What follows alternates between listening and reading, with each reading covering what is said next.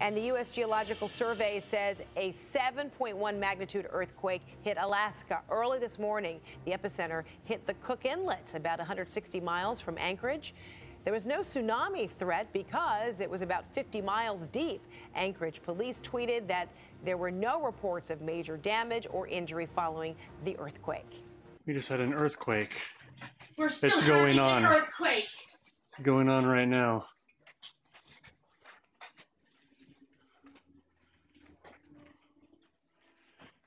Holy freaking cow!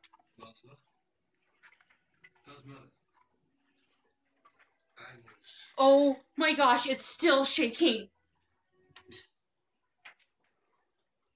We're still shaking.